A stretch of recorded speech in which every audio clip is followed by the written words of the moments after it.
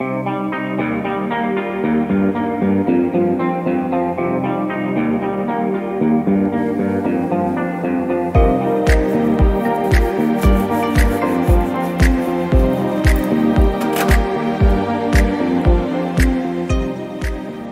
guys, it's Vijaya back at you with another video and today I'm going to show you how to make my cheesy zucchini bread which is a highly requested recipe. I posted this to my Instagram stories not too long ago and all of you guys messaged me to say make this on YouTube uh, and so here we are. And the recipe came about when I had a ton of zucchini left in the fridge and had to figure out how to use it up. It is so delicious, it's savory, it's cheesy, it's all the things and it has a ton of zucchini in it. But before we get started, don't forget to hit me up on my social media channels. And of course, if you're looking for the full recipe, just click that info box down below and everything you need is there. Let's make some bread together. All right, so the star of the show today is of course, zucchini. I had to do that little flip for you guys. also known as courgette. And the key for shopping for zucchini is to make sure that it's nice and shiny and firm, which is the one that I have here today. It's perfect, and we're gonna get grating. I have a box grater here. It's on the biggest side. This is the tiny side. This is the big side, just to clarify. And we're gonna get grating. And I love grating zucchini because it's so, so easy. And we're looking to grate about a cup.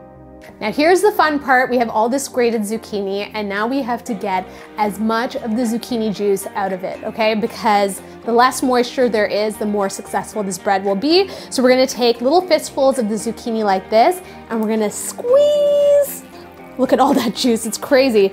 To get as much juice out as possible. Ooh, use all your muscles for this one. And then we're gonna drop it into this bowl and we're gonna do the same for the rest. So while we have our grater out here, let's make use of it and grate up some cheese because of course this is a cheesy zucchini bread. And today I am using old cheddar. I find that old cheddar holds up so much better in terms of flavor in this bread, or you can use Gruyere or Emmental. And we're gonna finally slice up some green onions.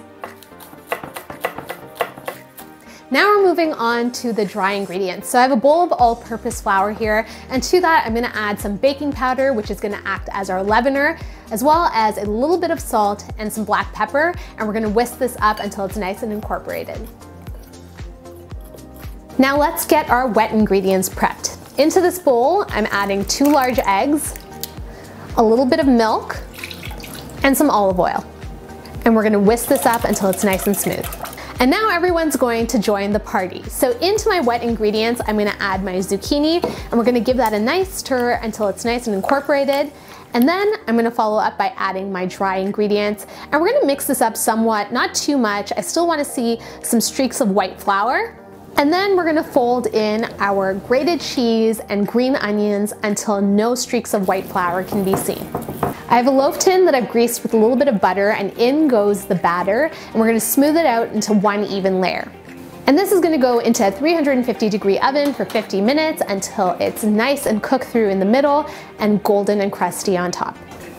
And this is what it looks like when it's done, you guys. I can't even tell you, my kitchen smells so good right now. What I did was I let it cool down in the tin and then I transferred it to a wire rack and then it's been cooling for a little bit. And now is the time to tuck in. So I have my serrated knife here. We're gonna attack this guy. Let's do it.